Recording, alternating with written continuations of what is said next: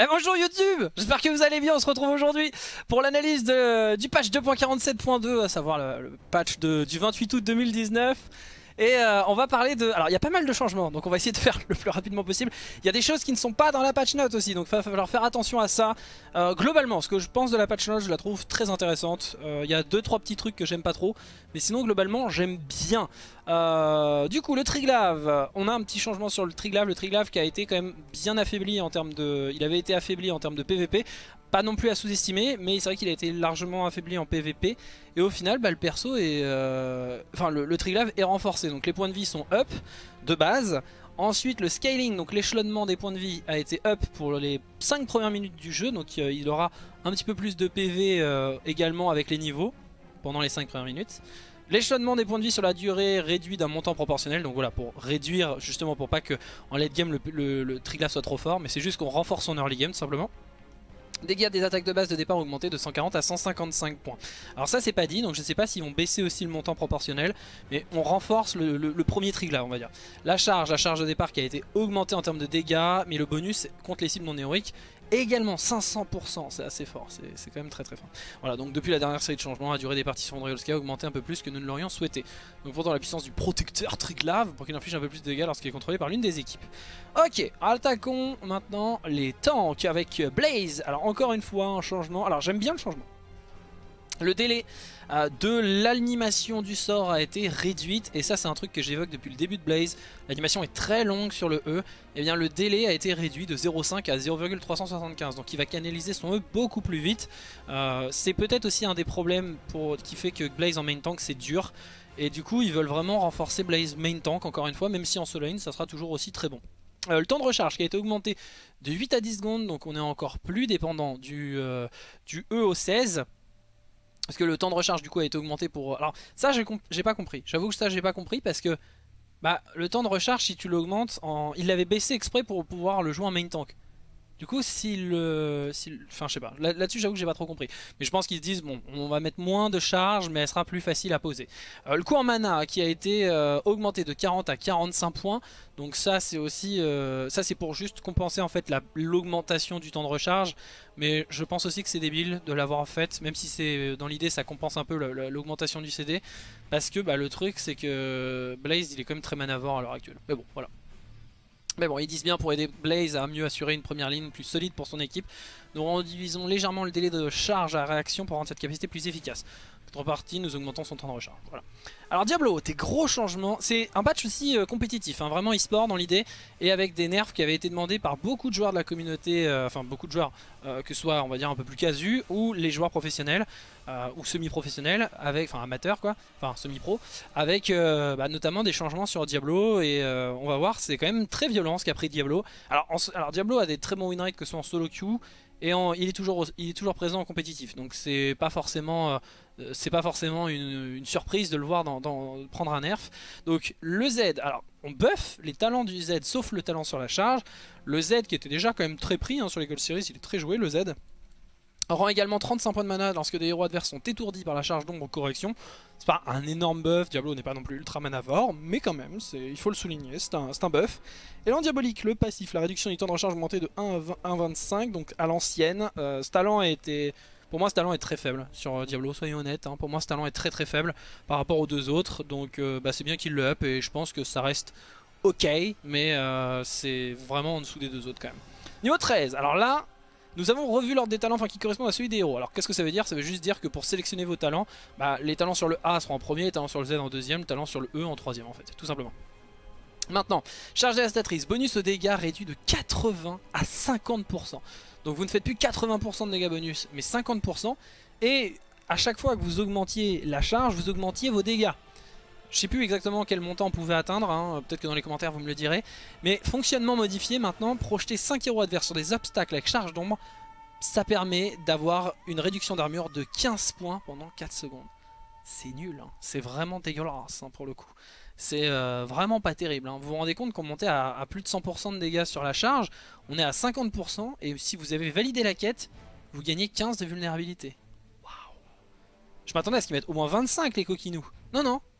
M'attendais à... Mais non, non, non, non. 15 euh, de vulnérabilité quoi. C'est nul à chier. Hein. C'est nul à chier. Alors, pourquoi euh, ça a été fait? Tout simplement parce que euh, il été dit et c'est quelque chose qui a été euh, remonté notamment par moi hein, sur la main mais pas, je suis pas le seul à l'avoir fait. Méné avait été un de ceux qui avait énormément gueulé aussi sur Diablo. Puisque Diablo 16, bah, avec charge dévastatrice plus la domination, il fait A contre un mur, E, A contre un autre mur, il one shot un mec tout seul. Et ça c'était très fort.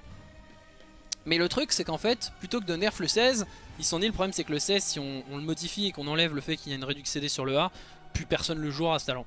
Du coup ils se sont dit il faut plutôt s'attaquer à la charge dévastatrice qui est euh, très très forte en combo avec le 16. Mais plutôt que se dire le combo est trop fort, il faut nerf euh, le truc qui permet le combo, ils se sont dit, et j'aime bien l'idée, j'aime bien l'idée, il faut plutôt nerf la charge dévastatrice. Mais pour moi il faut aller nerf les dégâts parce que ou alors lui donner une vraie récompense parce que là, bah déjà rien que mettre bonus aux dégâts à 80% sans récompense euh, de dégâts supplémentaires, parce que là vous vous rendez compte que c'est double nerf. 50% hein. de dégâts au lieu de 80, ça c'est déjà de base c'est un nerf. Mais en plus il perd les dégâts bonus, maintenant il gagne 15 d'armure. Enfin il gagne 15 de vulnérabilité. Waouh C'est-à-dire qu'il gagne 15 de dégâts bonus, super Enfin c'était pas terrible, hein. pour le coup c'était pas terrible. Alors on me dit que c'était 120% avant, on pouvait monter jusqu'à 120%. Euh, ça m'étonne, je laisserai le commentaire. Euh, mais bon, dans tous les cas, c'est... Je trouve ça vraiment pas terrible pour le coup.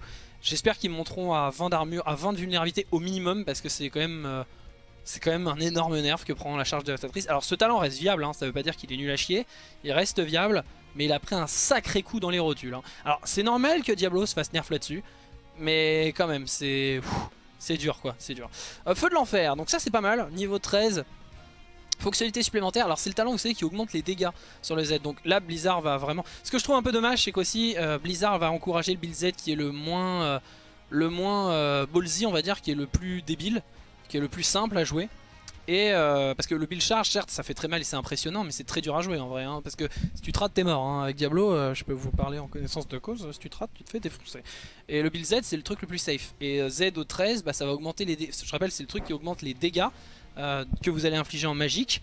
Et en plus de ça, maintenant, ils remettent l'ancienne rage ardente de Diablo euh, sur le 13. Donc c'est vraiment euh, ça plus ça. Donc là, on veut vraiment se diriger sur un build, un build Z avec potentiellement une hybridation 16 avec le, double charge. quoi. Bon, nous avons beaucoup parlé de la place de Diablo dans la méta-jeu, la méta le méta-jeu, de ce qui le rend si populaire malgré son faible taux de victoire. Nous adorons ce héros qui est un guerrier incroyablement amusant à jouer. Faut arrêter guerrier, c'est plus une classe. Mais du coup, mais nous avons reçu quelques plaintes de la part des joueurs à propos de ces dégâts explosifs, et nous nous reconnaissons qu'il peut être frustrant d'être tué par un combo de charge d'ombre passé le niveau 16. C'est vrai. Pour y remédier, ouvrir davantage de possibilités au niveau 13-16, nous modifions charge dévastatrice. Alors là par exemple, il regarde pas les Gold Series. Ça je peux vous le dire, il regarde pas les Gold Series. Parce que si regardait les Gold Series, c'est quand même la seule compétition professionnelle à l'heure actuelle. Euh, il y a plus de Diablo Z que de Diablo Charge. Parce que justement, Diablo Z, bah, même s'il se rate, c'est pas grave, il va pas tomber. Diablo Charge, euh, si tu réussis, t'es dieu, si tu, rates, tu sers à rien. Donc... Euh, je trouve que c'est pas terrible pour le coup. C'est-à-dire qu'ils regardent pas la seule compétition professionnelle d'Heroes, c'est quand même dommage. En outre, nous donnons un coup de pouce à ces autres configurations pour les rendre plus Ok. Euh, en vrai, ils ont pas augmenté. Enfin, ils ont augmenté l'autre build qui était très fort. Donc, bon, c'est pas si ouf que ça. Sur, sur Diablo, je suis. Il avait besoin d'un nerf. Après, la manière de faire, il y a des trucs intéressants et des choses qui sont pas terribles. Euh, Johanna, du coup, Johanna, alors ça c'est intéressant. L'armure physique, donc le renfort, le passif avec le blocage, l'armure physique qui a été réduite de 75 à 50 points. Euh, par contre, le fonctionnement a été modifié. Maintenant, utiliser une capacité de base qu'on fait. Alors, il y a marqué 75 à 50, je pense que c'est une erreur de la patch note, faudrait tester, mais à mon avis c'est 75 à 60 points. Parce que maintenant, utiliser une capacité de base confère 60 points d'armure physique à Johanna pendant 2,5 secondes. Donc, soit c'est 50, soit c'est 60, mais c'est pas 50 euh, et en fait 60, hein. c'est l'un des deux. L'idée est intéressante, plutôt que de donner les charges de blocage, ça vous donne de l'armure physique pendant un petit temps. Alors ça, ce qu'il vous devez comprendre. Charge de blocage égale pas terrible contre Tracer, Ticus, tout ce qui tape vite. Durée de blocage, enfin durée d'armure pendant voilà, 2,5, euh, 3,5, tout ça comme le totem euh, comme le totem de terre de Karazim, ça, ça veut dire que ça réduit considérablement les dégâts d'auto-attaque pendant un temps. Donc là, par exemple, bah, Ticus pendant 2,5 secondes, s'il arrose Johanna, bah, les dégâts physiques vont être bloqués. Par contre, n'oubliez pas que le minigun, c'est quand même des dégâts en pourcentage PV, donc ça, elle peut pas le réduire. Mais même une Tracer, par exemple, une Tracer, bah, vous allez appuyer sur vos touches, et ça, c'est un très bon point. C'est un énorme up du talent, et honnêtement, c'est très très bien, parce que Johanna, je trouve que c'est très très fort, ce, petit truc-là, et ça concurrence vraiment les deux autres niveaux 1. Alors, ensuite on a Shen, Bruiser, guerrier offensif. Bruiser. Euh, l'œil de tigre, donc euh, les talents un petit peu trop joués qui vont être réduits. Euh, les bonus aux dégâts et soins de 50 à 40%, c'est normal à l'heure actuelle. tout le monde joue ça, même dans les builds Q-Spell, tout le monde joue ça. Ce que je trouve un petit peu dommage, donc c'est compréhensible. ils peuvent pas le Q-Spell, enfin le, Globe au 1, ce que je trouve logique aussi. Je pense qu'il est très bien comme il est à l'heure actuelle. Il faudrait pas le trop le up. Et par contre, il up le 1 qui est pas terrible, c'est recette secrète des brunes d'orage qui était un ancien niveau 20, je le rappelle. Soit augmenté de 2,5 à 3% du maximum de points de vie. Alors, je tiens à le dire, mais j'ai fait un guide chain sur le rework. Les, valeurs baissent certes, mais ça ne change absolument rien du guide. Hein. Au contraire.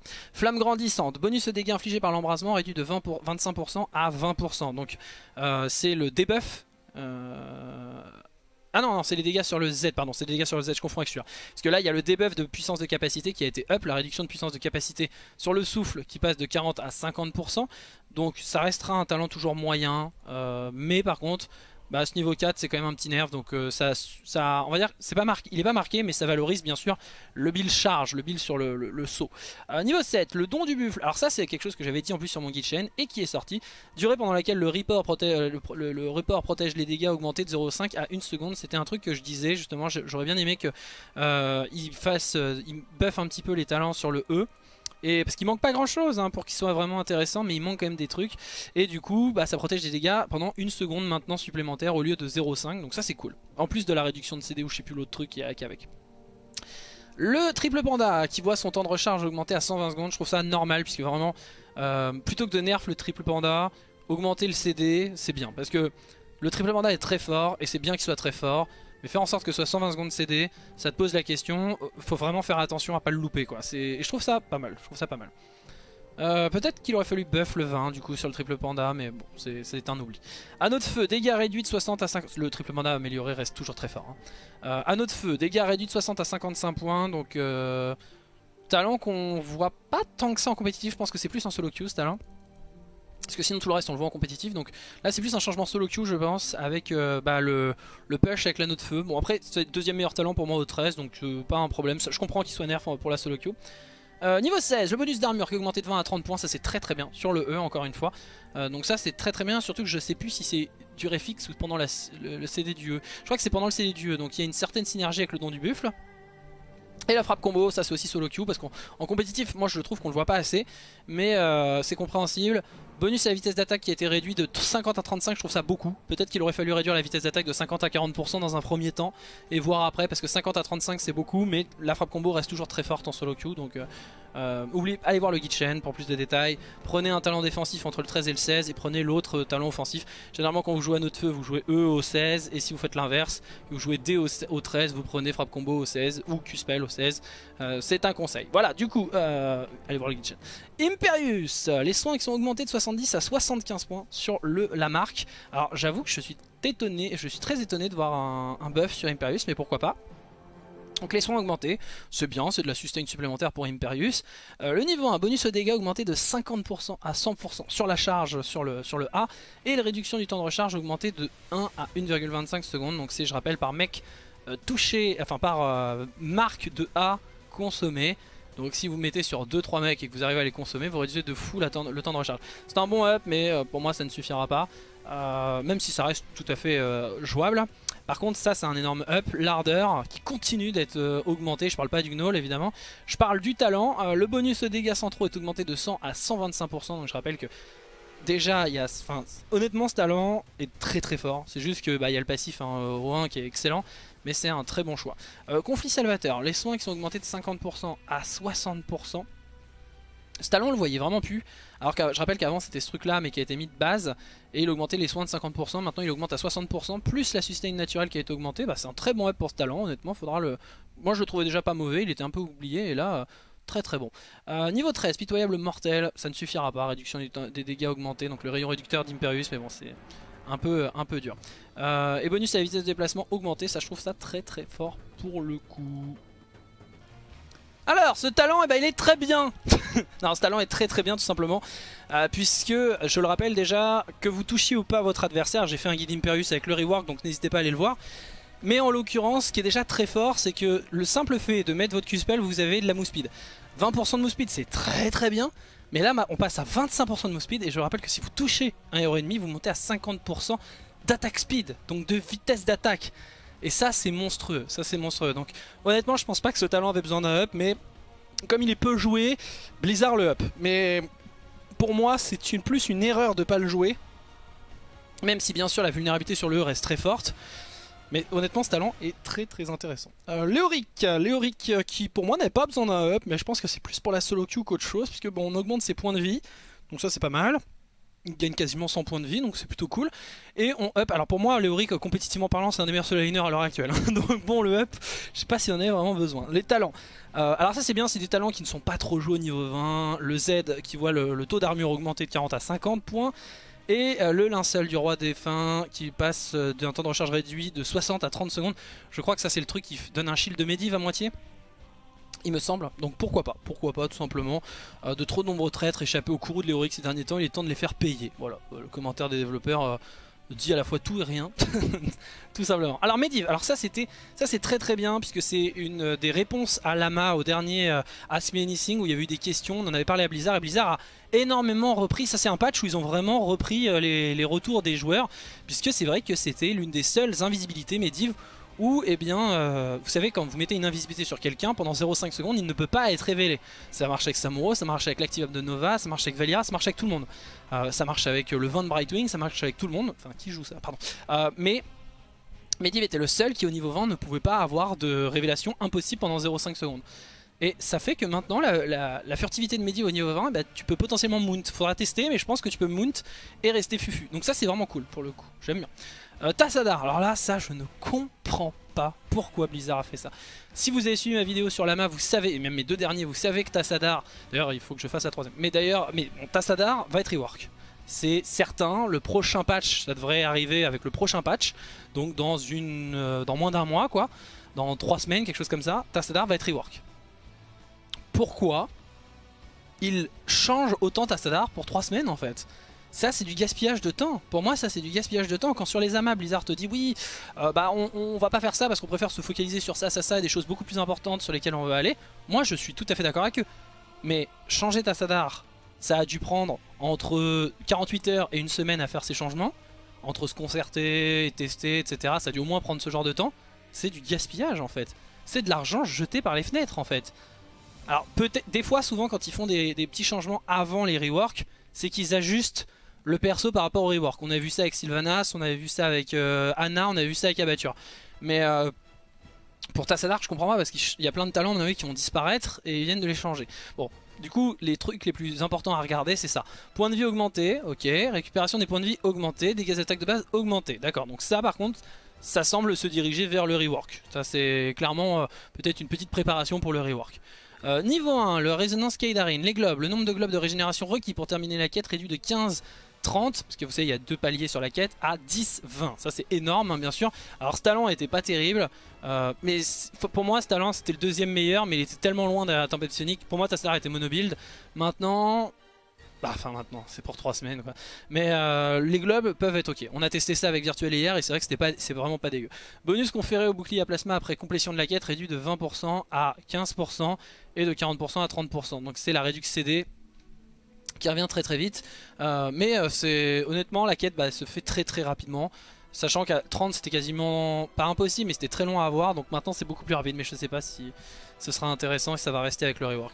Euh, résonance, le ralentissement sur la tempête sonique qui est augmenté de 50 à 60%, c'est un talent qui était très peu joué, qui reste ok mais très situationnel on va dire. Et la sagesse d'Adoun, alors ça je le conseille, je le conseille, si vous aimez jouer Tassadar, et eh bien de toute façon en, en, solo queue je conseille le le build, enfin le build, c'est le build tempête sonique mais avec DO7 et DO13 parce que vous allez en solo queue il y a souvent des kills etc et la réduction du temps de recharge qui est à 75% c'est cancer, hein. c'est vraiment cancer, hein. full tempête sonique, full glove, enfin full euh, shield etc hein.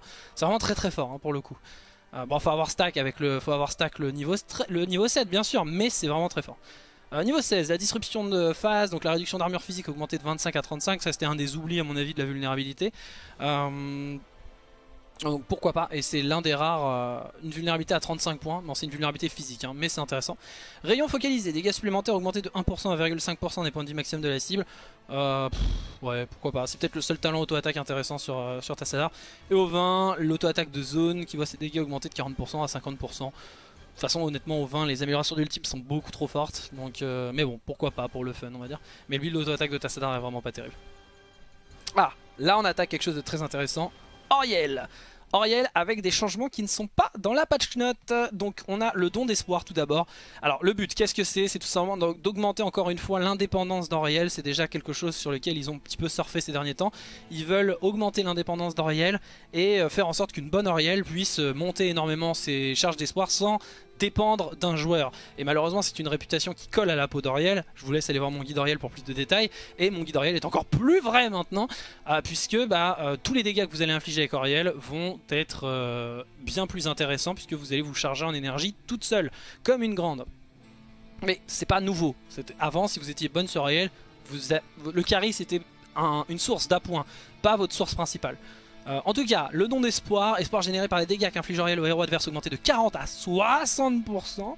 C'est énorme, hein. je rappelle que ça veut dire que 60% des dégâts qu'Oriel inflige sont convertis en heal, donc ça veut dire que toutes les quêtes en, rapport avec des dégâts Oriel, tout ce qui fait des dégâts Oriel va être, c'est exponentiel hein, la charge d'espoir gagnée, et l'espoir généré par les dégâts qu'inflige Oriel aux unités non héroïques adverses augmente augmenté de 10 à 20%.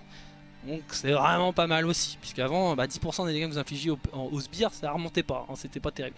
Espoir généré par les dégâts qu'inflige l'héros allié au héros adverse augmenté de 40, euh, non, réduit pardon, au héros allié, euh, hein? Oui non c'est une réduction, c'est marqué augmenté mais c'est la patch note FR. Euh, du coup, on nerf par contre les, rapports d'espoir donnés par les alliés pour valoriser les joueurs d'Oriel plus que leurs alliés. Donc ça c'est bien.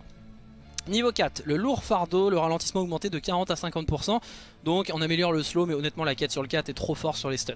Euh, par contre, par contre, par contre, par contre, il y a quelque chose qui est oublié. Parce que sur le papier, si vous voyez ça dans votre tête, vous devez dire, oh là, c'est un nerf de la corde sacrée.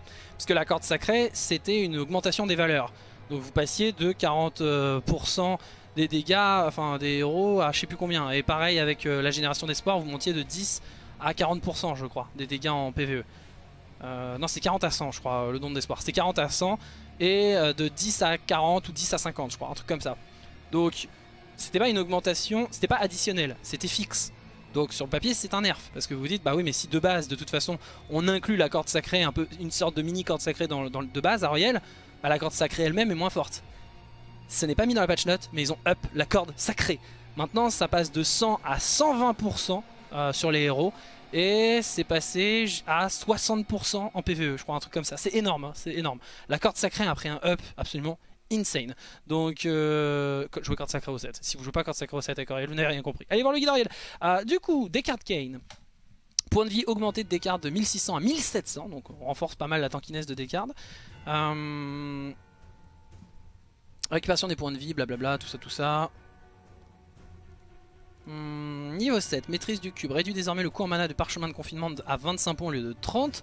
Donc euh, réduction du coût en mana, euh, alors qu'avant c'était 30 points de mana en moins sur le E, maintenant ça sera Z, euh, ça sera 25, non je sais plus si c'est le Z ou le E, non si c'est le E. du coup maintenant ce sera 25 points, par contre ça réduit, ça augmente la réduction du temps de recharge, donc de 3 à 4 secondes, donc plus le Z, c'est le Z qui vous permet d'avoir plus de E tout simplement. et le niveau 16, survie par le nombre, la fonctionnalité supplémentaire quand 3 héros alliés sont à proximité, la récupération des points de mana de Descartes est augmentée de 50%.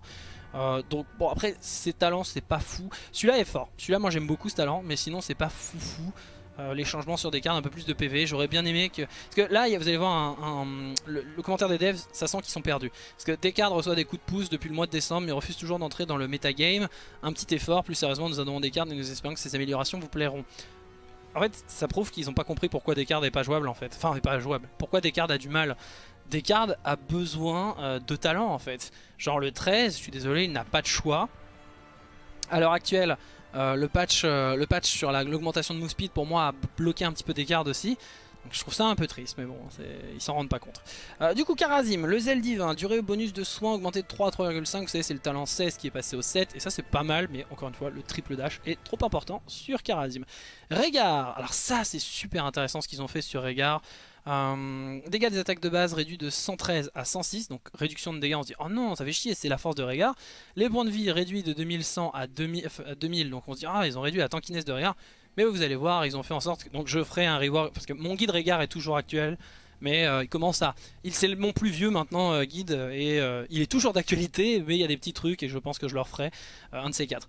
Mais du coup, les niveaux 1 qui étaient tous bien mais moyen bien on va dire eh bien vont vraiment devenir bien pour le coup puisqu'on va donner des passifs supplémentaires à tous les niveaux 1 de Régard. Et ça c'est cool.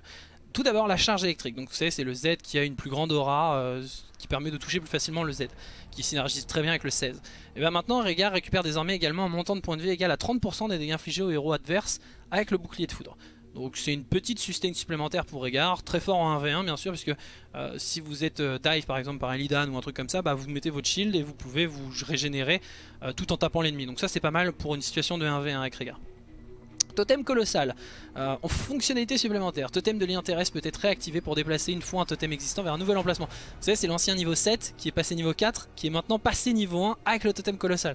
Donc le totem colossal, c'est le totem qui augmente l'air d'effet du E, et bien maintenant vous allez pouvoir replacer le E. Et personnellement j'adore ce talent J'adore ce talent, du coup je, je trouve vraiment le totem colossal, déjà c'était très fort, je trouve ça encore plus fort. Alors attention, ça ne synergise pas avec le totem d'emprise de la Terre, ça ne marche qu'une seule fois. Euh, mais c'est quand même très fort pour le coup, moi j'aime beaucoup. Course du loup, fonctionnalité supplémentaire. Alors ça c'est vraiment une création, c'est pas le talent 7 qu'ils ont passé au 1, ça, faites attention, moi j'avais fait cette erreur là, non c'est pas ça.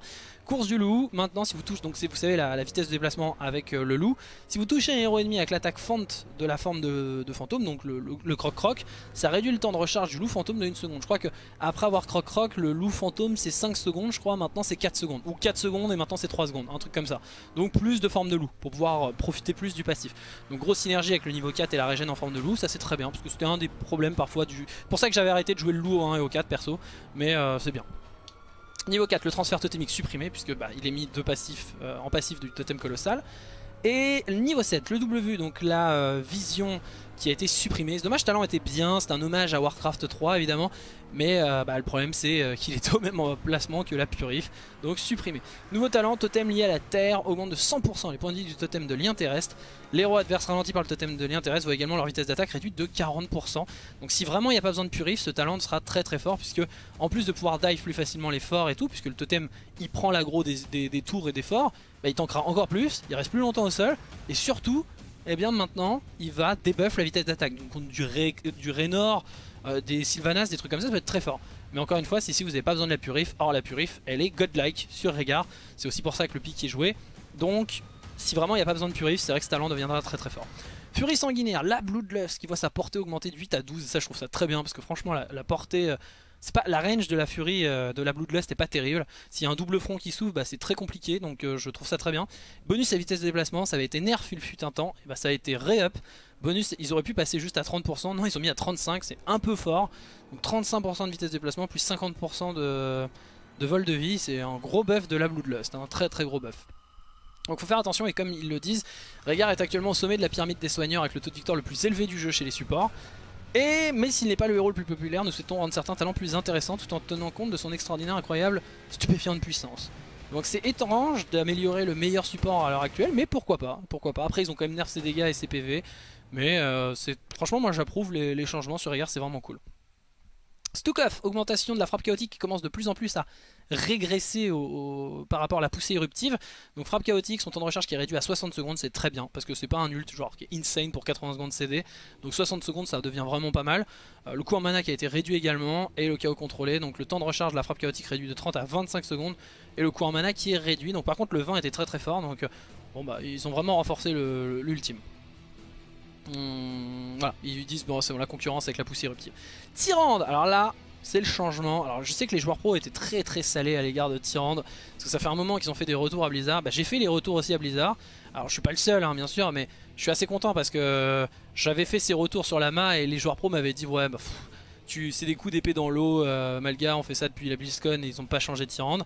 Bah je l'ai fait. Et les, développeurs m'avaient répondu en mode euh, c'est vrai on va, on va prendre en compte euh, euh, on va voir sur la prochaine patch note si on peut mettre des trucs. Et les devs avaient répondu oui. Enfin, les, joueurs pro avaient, répondu ouais. Enfin bon, on le sait, vous dites toujours ça et vous le faites pas. Blizzard l'a fait. Blizzard l'a fait et pas qu'un peu. Euh, soit augmenté sur le talent A de 40 à 45% sur le A si vous euh, changez, vous savez, de cible pour le soin. Les soins personnels sur la marque de guérison sont augmentés de 2 à 2,5% des points de maximum. C'est toujours un talent qui est bien, hein. mais l'élu des lunes reste très fort. Il a été nerf certes en puissance de heal, mais le CD effectif est toujours très très fort. Hein. Euh, la, vitesse à laquelle vous récupérez le talent et la durée, hein, 8 secondes, c'est énorme, donc euh, c'est un petit peu... des lunes reste cassé, hein. faut jouer des lunes au niveau 1 sur tir. Niveau 4, les talents de palier ont été réorganisés, donc c'est A, Z, E, hein, tout simplement au niveau des, Pour ceux qui prennent leur talent très rapidement, bah, c'est A, Z, E. Éclaireuse, le temps de recharge qui a été réduit de 30 à 25. Donc j'avais même oublié que ce talent existait tellement je trouve que c'est pas terrible. C'est tout simplement, vous savez, les, reliquats du build chouette de tyran, d'où vous pouvez réduire le CD, etc. 25 secondes ça me paraît beaucoup par rapport à ce que ça fait, mais vous savez ça fait des dégâts supplémentaires, machin. Je pense pas que ça soit fort, mais peut-être qu'on verra un build chouette avec le 4, 13, 16. Vous savez, le chouette, la chouette normalement c'est 13, 16, mais il n'y a pas besoin du 4 pour le faire.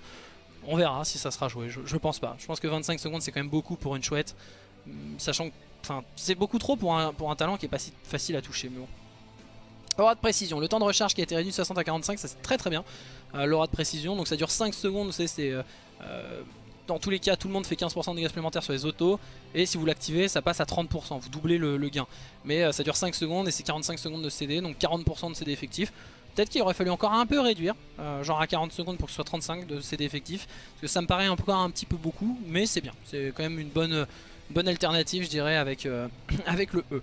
Fureur de la chasseresse euh, qui est déplacé depuis le niveau 16 donc euh, déplacé au niveau 16 d'ailleurs. Ah non, déplacé depuis... Non j'ai rien dit, je confonds. Euh, donc déplacé depuis le niveau 16, donc c'est, euh, vous savez, le talent sur le, le D qui faisait que quand vous tapez un mec, ça tape en zone et ça soigne à la, à la hauteur des dégâts infligés, je crois un truc comme ça. Donc c'est pas mal, c'est vraiment pas mal pour le coup. C'était un talent 16 qui est passé au 7 sans aucun nerf. Je trouve ça très fort pour le coup. Donc au niveau 7 maintenant sur Tyrande, honnêtement ça jouera énormément entre l'armure magique ou ça. Euh, enfin, si vous voulez jouer offensif, vous prenez ça. Si vous voulez jouer, euh, parce que ça fera des dégâts de zone, hein, donc c'est quand même intéressant. Euh, si vous voulez protéger des dégâts magiques, donc l'armure magique bien sûr. Et il y a aussi la réduction CD, hein, encore plus de heal avec Tyrande.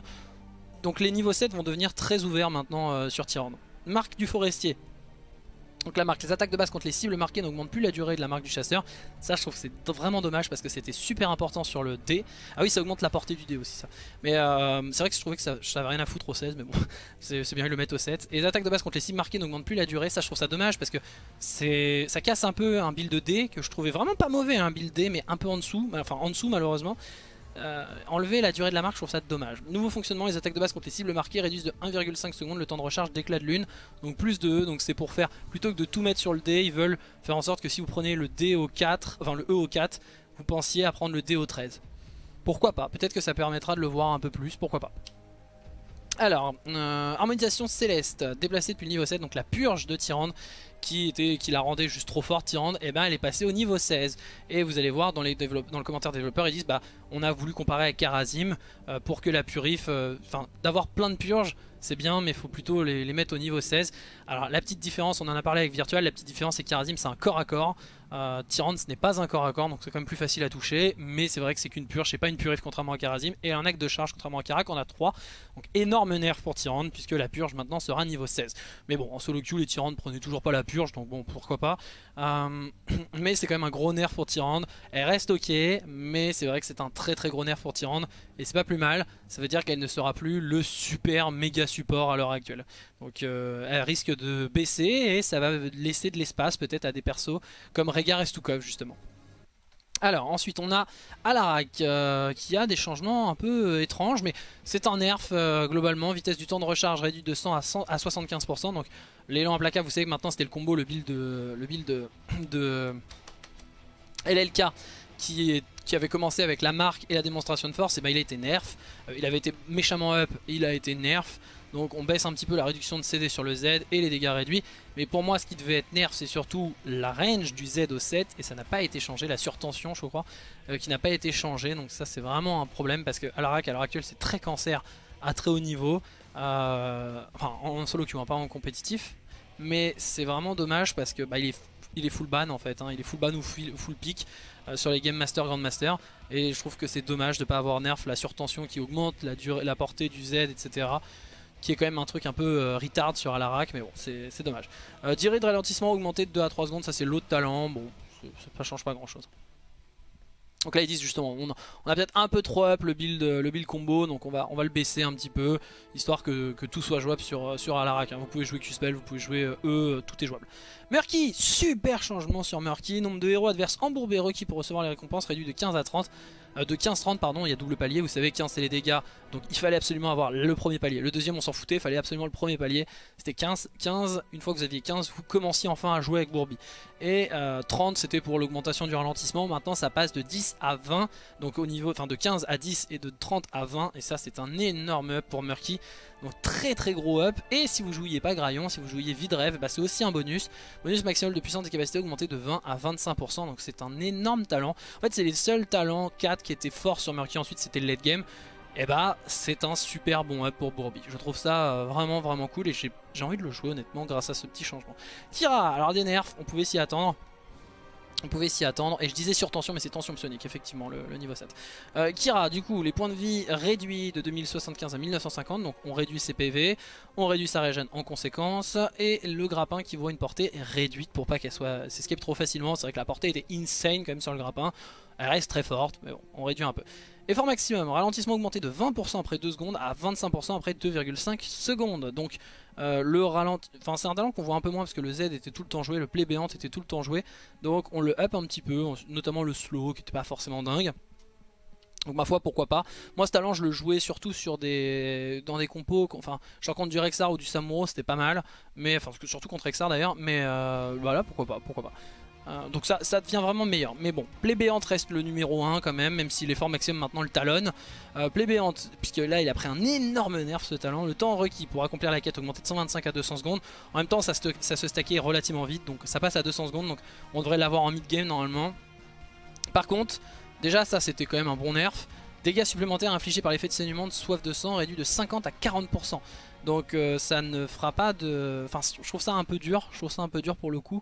Euh, c'est un gros nerf euh, sur ce talent, mais bon c'était le meilleur talent de, Kira. Ça reste très fort hein, bien sûr, mais c'est quand même un gros nerf.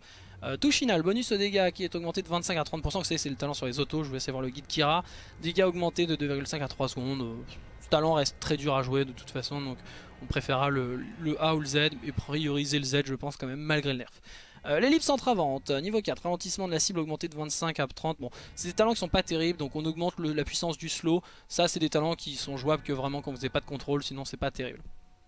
Donc on augmente la puissance situationnellement. Porte-vie, les soins réduits de 205 à 190 points, donc le talent qui fait que le Z euh, soigne plus quand vous avez moins de 40% de vos PV ou 50% de vos PV. Euh, je trouve pas que ce soit si fou que ça comme talent, mais bon, ça a été nerf. De toute façon, là en compétitif, on voyait que du Q-Spell, et moi personnellement, c'est ce que je conseillais. Je trouve le Q-Spell très très fort au, 16, au 7 pour le coup.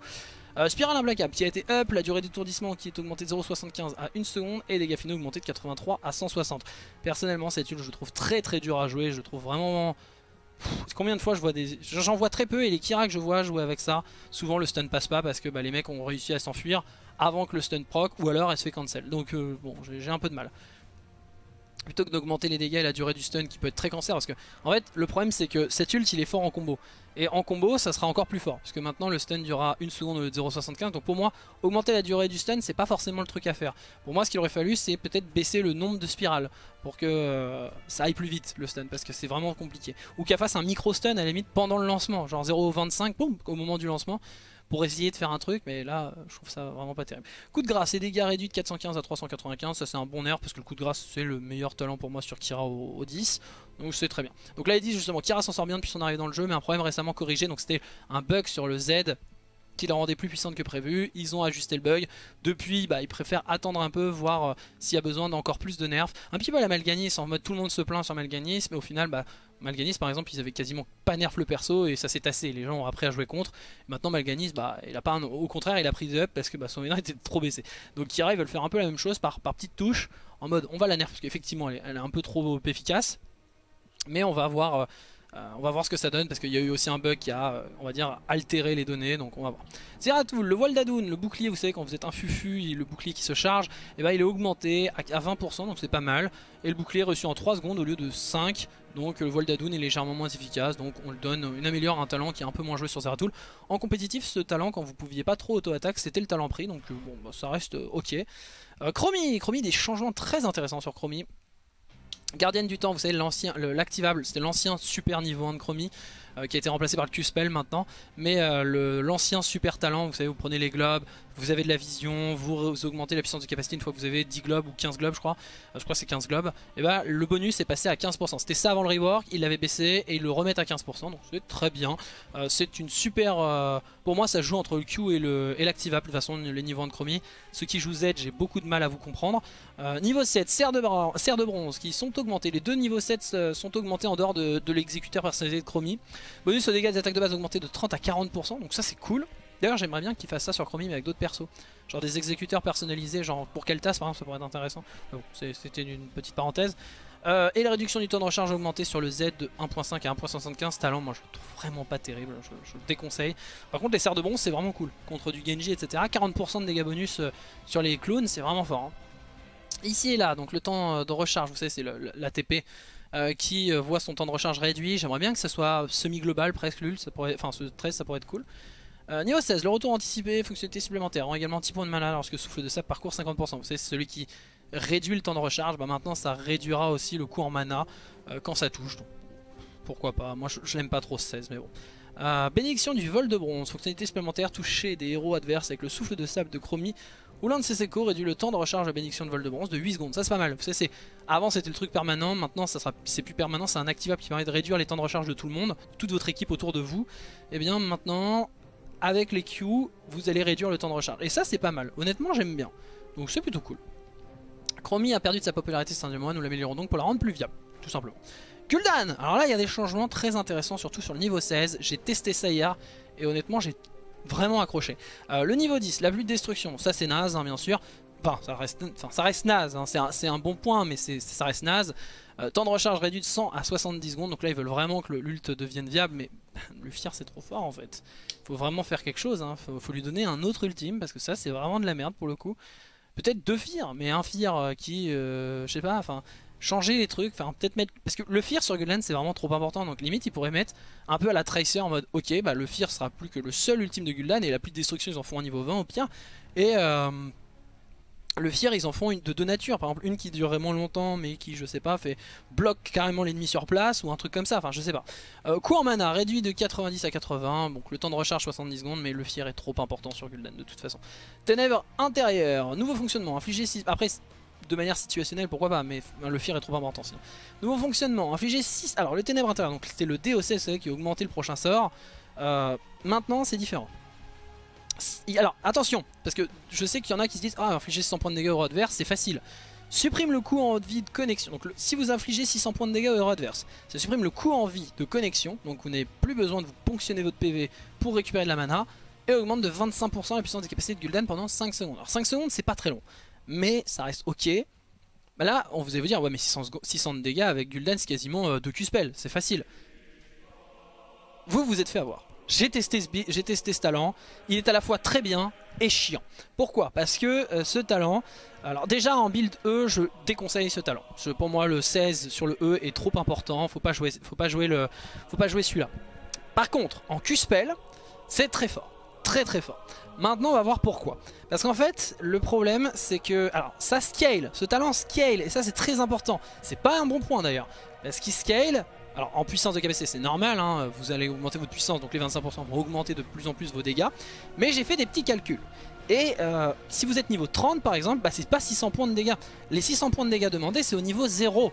Au niveau 16, ça sera pas 600 points de dégâts demandés. Donc plus vous montez en niveau, plus les besoins en dégâts pour charger ce talent sont importants. Donc c'est pas très grave, hein, c'est pas un truc, mais faut, faut bien y penser. C'est pas 600 points, oh et au 20 c'est bon, un Q-spell et c'est réglé. Non, non, non, non, non, hein, ça marche pas comme ça. Donc par exemple au niveau 20 je crois faut mettre 1200 ou 1400 de dégâts, un truc comme ça. Ce qui est pas, ce qui est pas la même. Hein. Par contre, la force de ce talent, c'est qu'en build Q-spell, le build Q-spell, alors le truc c'est que ça marche en PvP aussi, c'est que euh, héros. Donc les 3-16, à part l'affliction funeste qui marche en PvE, que ce soit sur un Q-spell le Q-spell, vous savez, ça charge à chaque fois que vous touchez un ennemi, le prochain Q-spell fera plus mal cumulable 5 fois et vous montez jusqu'à 50% de dégâts supplémentaires sur le Q-Spell. Si vous jouez Q-Spell, soif de pouvoir au 7 est indispensable, puisque ça augmente vos dégâts de Q-Spell. Du coup, vous avez déjà 15% de dégâts en plus de puissance de capacité.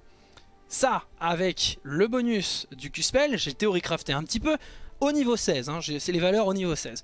Donc un premier Q-Spell, euh, donc le, premier Q-Spell amélioré, ça fait 465 de dégâts. Le deuxième 505, le troisième 545, je rappelle avec les 15% au 7. Hein. Euh, le quatrième 586 et le dernier 626. Alors les valeurs j'ai peut-être, parce que j'arrive même pas à me relire, donc peut-être qu'il y a des petits... Euh, le dernière valeur change peut-être, mais voilà, donc 465, 505, 545, 586, 626. Ok? J'ai fait le calcul pour voir si vraiment ce talent est intéressant. Et je l'ai testé ensuite en situation réelle. Le talent, ce talent là, si vous avez fait les 600 points de dégâts, vous appuyez sur le démon. Déjà ça compte du dive c'est bien parce que vous êtes contre un Genji, devoir utiliser de la mana pour pouvoir vous soigner, enfin utiliser des PV pour pouvoir récupérer de la mana c'est chiant, vous facilitez la tâche aux assassins. Donc déjà ça contre le dive c'est déjà bien. Moi contre le dive je conseillerais même ce talent. Maintenant, si vous avez 25% de puissance de capacité qui s'additionne avec le niveau 7, à savoir 40% de puissance au total. Qu'est-ce que ça fait sur du Q-Spell? Eh bien ça fait 566 de dégâts supplémentaires pour les Q-Spell. Donc c'est entre 3 stacks et 4 stacks. Donc vous ferez plus mal qu'un Gul'dan Q-Spell 16 qui a 3 stacks, donc qui a touché 3 fois, ou mais vous ferez moins mal qu'un mec qui a stacké 4 fois ou 5 fois. Donc c'est à vous de voir. Personnellement, ce talent, pourquoi je le trouve vraiment bien au niveau 16 maintenant, en build Q-Spell? Parce que ça augmente aussi votre sustain de Z, donc c'est vraiment pour moi le talent anti-dive. Puisque ça va augmenter votre sustain de drain de vie, ça va augmenter vos dégâts de corruption, vos dégâts de fear et vos dégâts de Q-Spell. Donc pour moi ce talent est à, prendre en Q-Spell. Vous allez me dire mais pourquoi tu le joues pas en corruption du coup? Parce que eh bien l'affliction funeste est beaucoup trop importante en build corruption pour pouvoir euh, jouer ce talent. Sauf si vous êtes vraiment en dive, mais à ce moment là bah, vous jouez pas eux, vous jouez Q-Spell de toute façon. Donc pour moi en Q-Spell ça va devenir le nouveau gros talent de Gul'dan Sauf si vous pouvez frapper en permanence avec les Q en permanence euh, niveau 16 Sinon, je pense que ce talent deviendra le must-have en Q-Spell. Voilà, pour les petits, euh, c'est peut-être la partie où je vais mettre le plus de temps, mais j'ai vraiment théorie-crafté le truc. Et ce talent est cool. Et vraiment, c'est le talent anti-dive maintenant de Gul'dan, puisque bah, vous avez pas de suppression de coups de vie, euh, ça c'est cool. Et attention, c'est rétroactif. C'est-à-dire que, même si vous avez lancé une corruption avant, au moment où vous gagnez les 45% de puissance, enfin les 25% de puissance, pardon, eh bien la corruption que vous avez déjà lancée va voir ses dégâts augmenter. Donc le poison lui va augmenter. Ça m'a permis de prendre pas mal de kills hier dans mes tests. Donc euh, ça c'est plutôt cool, ça c'est vraiment cool. Voilà, donc pour la petite, euh, pour la petite info. Donc pour le coup vous n'allez pas pouvoir spammer en permanence le dé. Euh, hier par exemple dans des teamfights un peu longs, donc on va dire entre 5 et 10 secondes, j'arrivais à le faire proc 3 fois. Ce qui est pas dégueu hein, mais 3 fois c'est déjà beaucoup. Hein. Quand vraiment j'arrivais à, à, stack facilement mes dégâts. Donc vous n'allez pas pouvoir le spammer ce talent, c'est pas possible. Vous allez l'utiliser plusieurs fois dans les teamfights, ça c'est sûr, mais le spammer, c'est pas, pas possible. J'ai vu hier, beaucoup me disaient, bah oui, mais 100 points c'est facile. Non, ce sera pas facile. Euh, scale, ça scale, encore une fois. Anzo, des nerfs intéressants et un up euh, étonnant. Euh, bonus au dégâts, réduit 75 à 60%. Sur la flèche explosive, c'est un très bon changement. Je pense même qu'ils auraient dû le baisser à 50%, mais 60% c'est très bien, c'est l'entre-deux on va dire. Je conseille souvent l'entre-deux, enfin je dis souvent dans mes analyses l'entre-deux c'est pas mal. Pour une fois qu'ils font un entre-deux, j'aime bien. Donc euh, l'entre-deux ici est tout à fait ok. Frappe du dragon, le temps, parce que ce talent est vraiment, enfin c'est un peu le plus facile à jouer quoi. Euh, frappe du dragon, le euh, donc l'ultime à 100 secondes CD, l'ultime de zoning qui voit son temps de recharge réduit à 60 secondes. Et ça, c'est ce qui manque à l'ult. Pour moi, c'est juste ça, c'est ce qui manque à l'ult pour que ce soit vraiment situationnel. Par exemple, les combos avec Léoric sont complètement retard et très faciles à faire. Donc, euh, moi, je trouve ça bien. Par contre, coup en mana réduit, ça c'est pas un problème, c'est très bien même. Par contre, les dégâts augmentés de 70 à 78, ça je trouve ça de trop. Je trouve ça vraiment de trop. Parce que là, dans des combos, euh, dans des combos, ça sera vraiment trop fort pour le coup. Donc... Euh, c'est un bon changement pour la frappe du dragon, ça peut-être un peu trop. Alors je dis pas qu'il fallait pas up, mais peut-être 70 à 74 suffisait. 70 à 78 c'est énorme. Hein. Je rappelle que bah, les dégâts critiques au centre, etc. Et vous prenez plein de petits tics, donc c'est peut-être un peu trop, on verra. Mais 60 secondes c'est cool. La, la flèche du dragon reste toujours meilleure, mais la frappe du dragon se passe de très situationnel, enfin talent de niche à talent situationnel. Donc ça c'est bien. Niveau 13, voltigeur, bonus à la vitesse de placement augmenté de 20 à 25%, c'est le truc qui vous permet d'avoir la monture. Donc la monture prend un gros gros boost euh, au, moment où vous sautez sur votre monture après avoir sauté un mur. Pourquoi pas? L'éveil du dragon qui réduit le temps de recharge 10 minutes 5 à 4. Vous savez, c'est quand vous allez avoir tout le temps des frappes du dragon au 20. Euh, le 20 de la frappe du dragon était très fort. Euh, bah, ils réduisent un peu la puissance puisque c'est un peu ce qu'ils ont fait de base au niveau 10. Kel'Thuzad. alors là, Kel'Thuzad, j'avoue que j'ai j'ai presque envie de passer cette section tellement je... Je comprends pas ce qu'a fait Blizzard là. Euh, bonus aux dégâts augmenté de 20% à 25%, maximum de cumul réduit de 6 à 4 pour le Q-Spell au 7, ça c'est très bien parce que c'est le talent qu'on voit le moins. Donc ça c'est très bien pour favoriser un peu le build Q-Spell, ça c'est une très bonne chose. La glaciation, réduction du temps de recharge augmenté de 5 à 8, ça j'aime pas du tout. Euh, c'est que le pic à glace ou le pic de glace va revenir plus vite. Dégâts supplémentaires augmentés de 300 à 400%. On n'utilise pas ce talent pour faire des dégâts, euh, sauf quand on troll en aram. Sinon, on ne fait pas ça. Donc on s'en fout des dégâts supplémentaires. Le truc, c'est 8 secondes de CD sur le pic à glace. Moi, je trouve ça cancer. Mais ce pic est un perso cancer en fait.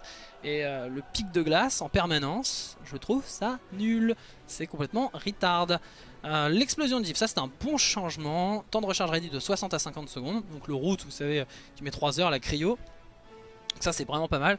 Coût en mana réduit de 50 à 45, donc ça c'est pas mal aussi. C'est vraiment pour...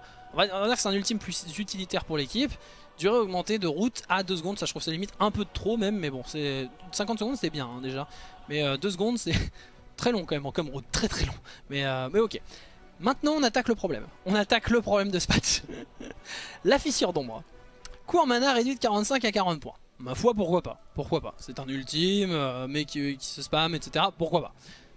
Dégâts réduits de 360 à 320. On se dit, bah c'est bien, ça réduit les dégâts sur le combo, ça c'est très très bien. Je dis, ok. Parce que c'est vraiment cancer. Hein. Quand Kel'Thuzad avec, votre, avec son pic de glace de merde, il vous a chopé et vous fout full combo, vous êtes bien content que l'ultime fasse un peu moins mal. Nouveau fonctionnement. Infliger des dégâts à héros adverse avec fissure d'ombre, réinitialiser son temps de recharge. C'est un niveau 20. C'était un ancien niveau 20, ça. Et je rappelle que ce niveau 10, ça va faire en sorte que si Kel'Thuzad est vivant, vous ne pouvez pas, euh, par exemple sur Tour du Destin, par exemple sur Spider Queen, vous ne pouvez pas payer. Vous ne pouvez pas, euh, sur Valmody, vous ne pouvez pas récupérer le tribut. C'est complètement débile ça Blizzard. Ça, je sais pas pourquoi vous avez fait ça, mais c'est débile. Mais complètement débile. Donc euh, ça, je... C'était un bon vin. Honnêtement, c'était un bon niveau 20. Fallait limite up, à la limite si vous voulez ce talent, machin.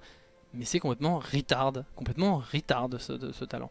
Donc euh, déjà, Kel'Thuzad c'est très cancer, mais ça c'est pire quoi. Euh, niveau 13, l'étreinte de glace, donc c'est le changement sur le, route au, au 13 qui était quasiment jamais joué. Infliger des dégâts à des héros adverses ralentis par Novagive n'augmente plus la durée du ralentissement. Par contre, nouveau fonctionnement, infliger des dégâts à des héros adverses ralentis par la Novagive réduit le temps de recharge de Novagive de 0,4 secondes. En gros, si vous touchez des mecs qui ont été route, vous allez réduire le temps de recharge. Je trouve ça pas mal dans l'idée, c'est plutôt pas mal. Pouvoir du fléau, donc le nouveau fonctionnement du R. Euh, si un héros adverse est touché par la fissure d'ombre, celle-ci explose à nouveau une seconde plus tard. Cette explosion ne se duplique pas. Qu'est-ce que ça veut dire? En fait, c'est comme l'apocalypse. C'est-à-dire que quand vous appuyez sur R, une seconde après, il y a un truc qui pop sous le, sous le corps, enfin sous le, sous le lightbox du mec et ça va exploser en l'air. Le truc du coup c'est quoi? Euh, C'est que déjà avec la fissure d'ombre vous avez en permanence des donc vous allez pouvoir refaire pop euh, la fissure d'ombre euh, améliorée. Alors cette fissure d'ombre là si le mec bouge honnêtement c'est très dur de la faire proc. Mais sur un combo par exemple, sur un, sur un tombeau de Léoric, sur un sur un tombeau de Léoric, sur je sais pas moi, une Gravito 20 de, de, de Zarya, sur des Pogo de TC, etc. Ou même genre par exemple juste pour des tags encore une fois, juste pour des tags. Vous détaguez le mec, il est obligé de l'esquiver sinon bah c'est CD en permanence. Et du coup même si vous touchez, si le mec a pas fait gaffe, il, vous il le touchez, au moment où il va, il va esquiver, il va vouloir retag, bah, il y a de nouveau un truc qui va temporiser votre nouveau R. Dans les combos, dans les chaînes de contrôle, ça sera fort. Après ce 20 honnêtement est pas... Enfin sur le papier ça a l'air très très fort mais c'est plus le 10 qui est très fort. Parce que ce 20 en soi est pas si ouf que ça. Genre ce 20 est et pas dingue dingue dingue. C'est vraiment dans les combos, il va être très fort. De base, de toute façon, c'est juste le niveau 10 où ils ont craqué leur slip. Euh, ça, c'est complètement retard. Hein. Euh, vraiment euh, complètement retard. Au limite, si vous voulez faire un truc comme ça, c'est si tu rates ton R, par contre, bah, tu prends 40 secondes CD, quoi, ou un truc comme ça. Parce que là, c'est vraiment un truc de débilos. Euh, Liming, des très bons changements pour Liming avec euh, l'échelonnement. Alors ça je ne savais même pas. Euh, le scaling du coup des missiles de Liming était de 3% au lieu de 4% pour la moyenne des persos. Il monte à 3,5%. Donc plus, la game avance, plus les missiles de Liming font mal. Je trouve ça vraiment bien. Que vous jouiez TP, que vous jouiez... C'est un hub de Liming dans tous les cas. Alors c'est expliqué, je vais, dire tout de suite avant de lire le reste. Puissance de global de Liming, la puissance globale de Liming a changé depuis la vitesse de déplacement des héros du jeu. donc en gros depuis que la vitesse de déplacement de tout le monde bouge, j'avais expliqué pourquoi dans la main donc je ne vais pas revenir dessus. Vous avez qu'à voir le, question-réponse. Mais en gros, ils n'ont ils pas voulu augmenter la vitesse d'animation des sorts, ils ont préféré augmenter les dégâts pour aller dans leur idée, encore une fois, bah, d'améliorer euh, le skill des joueurs. Euh, nous avons revu l'ordre des talents de niveau 1 à 13 qui correspondent à celui des autres héros. A, Z, E. Bon, je vais pas revenir dessus. Présence astrale, donc le talent poubelle de Liming. Seuil de mana pour bénéficier d'un gain de mana augmenté de 25 à 35%. Terre l'a testé un peu hier, euh, c'est pas fou. c'est pas fou, mais c'est mieux qu'avant, bien sûr. Mais ça reste pas terrible. Ça reste pas terrible. Le problème d'un talent comme ça, c'est que à 50% c'est très fort. Euh, et en fait, c'est soit trop, ce talent, c'est soit complètement trop fort, soit complètement trop nul. Et il reste toujours trop nul. Mais euh, voilà. faudrait, à la limite, pour que ça commence à devenir viable, faudrait que ça monte à 40-45%. Et là, ça deviendrait vraiment fort même. Mais je pense que ce talent n'a rien à faire. En fait, faudrait juste qu'il rechange, qu'il pense à autre chose parce que c'est vraiment un truc de débile. Enfin, à quel moment ils veulent Enfin, ils vont nous dire oui, on, on, va, on veut pas augmenter la vitesse d'animation des sorts parce qu'on veut favoriser le skill d'un joueur. À quel moment un joueur qui crame toute sa mana sans faire attention à sa mana, sans contrôler sa mana, eh bien, il va pouvoir relancer des sorts? D'un côté, on dit oui, on va essayer de faire en sorte que favoriser le skill des joueurs. D'un autre côté, on va rendre le truc tellement débile, quoi. Bah non, hein, la mana c'est une ressource et une ressource ça gère. Euh, du coup, focalisation des arcanes. Les missiles au 7, ça fait très longtemps que j'attends un up là-dessus. Dégâts augmentés de 125 à 140 points, donc ça c'est très très bien. Si vous touchez vos 3 missiles sur le même mec, et eh bah ça fera très mal. Et ça c'est cool, sachant que le scaling, ce talent a été encore plus up puisque le scaling des missiles a été up. Donc c'est le burst est vraiment très très costaud pour un 1000 missile. Vengeance de Zay. Donc euh, l'orbe qui voit les dégâts supplémentaires en fonction de la distance parcourue augmenter de 25 à 30%. Je pense qu'il n'y a pas besoin d'up ce talent, mais c'est pour les calamités qui est tout le temps joué sur les mines, bien entendu. Mais pour moi, bah, le build orb, c'est peut-être... Euh, enfin bon, c'est tant pis. Mais euh, pourquoi pas. Mais c'est vraiment là-dessus, moi, que je trouve ça cool. De toute façon, le build orb a toujours des problèmes de base, alors que le missile est plus permissif, je dirais. Niveau 10, désintégration. La désintégration qui est augmentée, l'onde de choc est vraiment en train de prendre le pas sur la désintégration depuis longtemps, mais encore plus là ces derniers temps.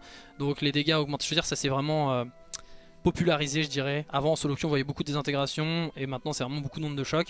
Donc, ils up un petit peu la désintégration, pourquoi pas. Dragon de papier, le bonus c'est la puissance de capacité augmentée de 15 à 20%, donc vraiment plus de dégâts sur euh, Dragon de papier, ça coûte cher euh, à, à Liming. Avant c'était 15% de PV en moins, 20, 15% de capacité en plus. Là c'est 15% de PV en moins pour fin puissante capacité en plus. Pourquoi pas C'est vraiment faire en sorte qu'il y ait des talents un peu améliorés sur Liming qui sont moins joués, pourquoi pas. du coup, Ticus, alors Ticus ils ont, riche, ils ont complètement changé, ils ont refondu ces niveaux 1 avec la durée augmentée, donc le défonce alphonse c'est la portée sur le E.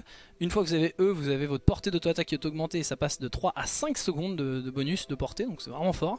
Course effrénée n'est plus associée à une quête, fonctionnement modifié, augmente de 50% à la portée du E, donc du dash. Lancez euh, votre dash augmente de 20% la vitesse de déplacement de Ticus pendant 2,5 secondes, donc en gros ils ont nerf le talent, mais ils l'ont mis de base, comme euh, Imperius avec le Z, donc pas de quête. Donc ça c'est vraiment fort pour le coup je pense que ça deviendra le nouveau talent 1 de Ticus. Euh, c'était déjà en train d'arriver et par contre là où je suis très triste c'est le fin tacticien qui a complètement changé de fonctionnement et pour moi ils auraient dû rajouter un talent plutôt que de le supprimer. Nouveau fonctionnement, lancer, euh, fonce et défonce, donc le E, le dash, réduit de 8 secondes le temps de recharge du minigun. Alors vous allez me dire, bah, c'est vachement bien comme talent Malga euh, sur le papier. Oui, mais l'ancien talent c'était quoi? Chaque auto-attaque vous réduisiez le CD de votre E. Ticus c'est une auto-attaque immobile vous pouvez pas, alors bien sûr vous pouvez faire du hit mais c'est super dur de rentabiliser un hit and de Ticus. Donc très souvent Ticus c'est je me déplace, j'auto-attaque, je repars. Du coup ce niveau 1 était super fort parce que ça pouvait permettre de vous remettre en positionnement très rapidement, du coup de valoriser votre minigun, puisque si vous mettez un E en diagonale, vous êtes en place instantanément et vous arrosez, vous rentabilisez énormément le minigun, et comme chaque auto-attaque de Ticus réduit le temps de recharge du E, si vous aviez bien utilisé votre E, vous réduisiez instantanément le temps de recharge, vous pouviez, avant de vous faire exploser par les mecs d'en face, parce que le problème d'un carry qui bouge pas, c'est que vous êtes vulnérable au tank, et bien du coup vous pouviez faire un E out. Donc un petit E en diagonale au moment où un de vos tanks contrôle, vous balancez la sauce et vous repartez. Maintenant c'est plus possible, puisque si vous voulez balancer la sauce, il faudra avancer. Et si vous. Donc il faudra E in, comme un retard. Vous aurez de nouveau votre minigun, c'est cool. Mais alors par contre, question escape, c'est pas terrible. Et c'est le problème de Ticus, des escapes. Donc pour moi, ils ont supprimé un talent qui était très très fort et ça rend encore plus dépendant le triple E au 20. Même s'il est peu joué, bah, si vous voulez vraiment bien jouer Ticus, le triple E au 20 c'est quand même très très fort. Donc euh, je suis vraiment pas fan de ce qu'ils ont fait. Et j'ai vu l'idée de quelqu'un qui disait qu'il fallait que, plutôt que ça, ça aurait dû devenir un nouveau talent plutôt que d'empiéter sur l'ancien. Parce que pour moi l'ancien était trop important donc bah là on partira sur plutôt le Ticus, la course effrénée pour faire un peu l'ancien système, c'est-à-dire E et E pour vous positionner, et repartir avec le gain de move speed en fait tout simplement. Donc euh, avant vous pouviez faire dash in, dash out, maintenant il faut faire dash in et je cours out. Ce qui est quand même euh, moins fort, mais bon. Du coup je suis... Euh, donc pour moi maintenant la course effrénée va juste être trop forte et le fin tacticien j'ai du mal, j'ai du mal, j'ai du mal. Après en build en rythme, pourquoi pas. Mais même comme ça, ça c'est pas dingue, c'est pas dingue. Je suis vraiment pas fan. Voilà, un truc que je dis depuis très longtemps, j'en avais parlé dans mon guide Vala, enfin ils l'ont fait, fonctionnalité supplémentaire, une fois la quête terminée, sur le Showstrap, le coût en mana d'acrobatie réduit de 50 à 25 points. Donc le E coûtera moins cher en mana. Ça c'est très bien puisque c'était le problème du Showstrap au niveau 1, déjà ça met 3 heures à stacker donc c'est pas terrible. En plus le bonus est pas terrible, hein. genre le E me pose un, petit piège au sol qui va slow les mecs, ouais... Euh, enfin très souvent vous allez pouvoir l'esquiver ou vous n'êtes pas bien donc ce qu'il fallait c'était surtout une réduction du coût en mana, ça réduit enfin le coût en mana. Ça reste le moins bon niveau en Nevala, mais au moins maintenant il est viable, ça c'est bien. Euh, avant Showstrap, un mec qui jouait Showstrap il avait rien compris au jeu. Maintenant euh, au moins ça reste pas terrible, mais c'est quand même jouable. Donc pourquoi pas, dans un build d'auto-attaque, pourquoi pas jouer E au 1. Et voilà, après il y a une correction de bugs sur Kira, des petits soucis sur les, sur les talents. Donc voilà, j'espère que cette vidéo vous aura plu. Globalement la patch note, vous l'avez vu, je trouve tout bien, sauf euh, Kel'Thuzad. Euh, est un peu Diablo, mais Kel'Thuzad, euh, je, suis vraiment pas fan. Mais sinon, tout est bien, honnêtement, je trouve ce patch très très bon. Ils ont écouté les retours des joueurs euh, compétitifs, ils ont écouté aussi, enfin, ils ont vraiment tout... Enfin, franchement, le très bon patch, je trouve le patch excellent. On l'a attendu, celui-là, hein, et il est, il est vraiment bien. franchement, pas de déception. Beaucoup de persos touchés, encore une fois, donc c'est cool. et dans quelques temps, on devrait avoir le rework Tassadar et peut-être Diva, peut-être qu'il y aura que, que Tassadar, je ne sais pas. Mais en tout cas, c'est cool, c'est cool, donc voilà j'espère que ça vous a plu. On se dit à bientôt pour une prochaine vidéo. A plus dans le neck chouche. Pardon. N'hésitez pas à, faire des bisous, liker euh, la vidéo, la, partager autour de vous, vous abonner à la chaîne YouTube, me suivre sur les réseaux sociaux évidemment, Twitter, Facebook, tout ça. Il y a la petite cloche aussi de notification. Bon, je me casse. Hop, salut. Bisous.